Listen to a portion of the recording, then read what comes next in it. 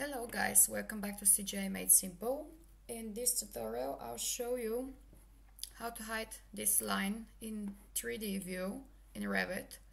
Why do you want to have it and how to use it. Let's jump into it. So let's say I have a furniture like this in Revit.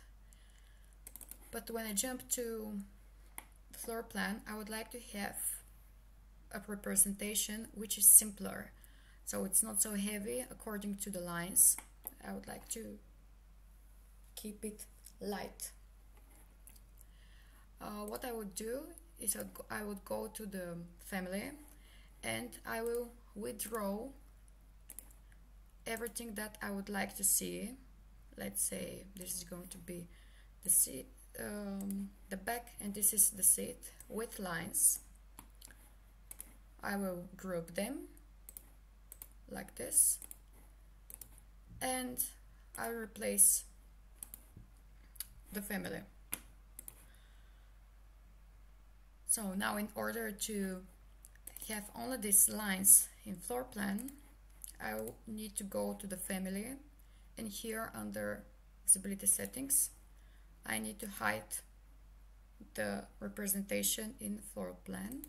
Okay, reload all right. Okay I'll need to hide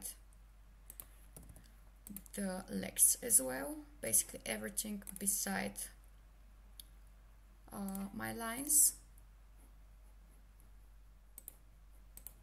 Like all the geometry.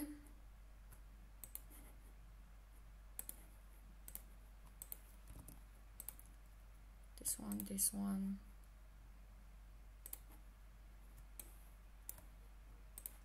like this you can have you can hide them also from the properties. Okay.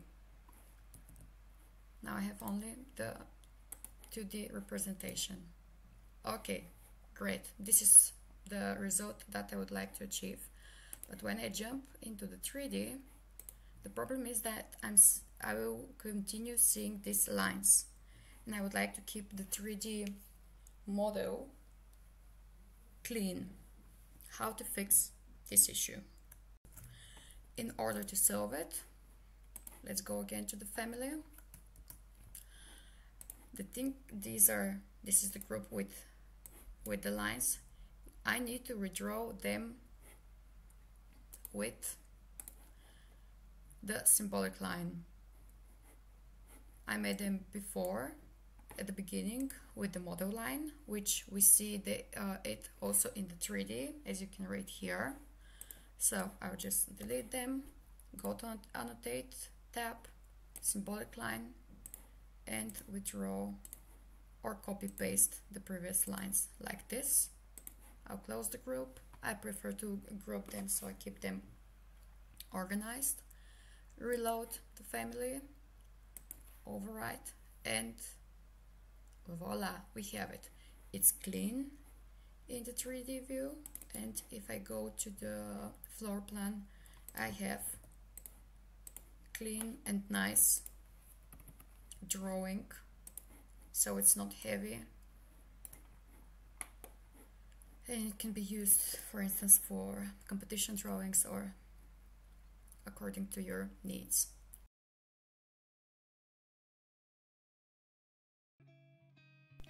If you enjoyed anything in the video, then drop a like and a big thank you to everyone who does.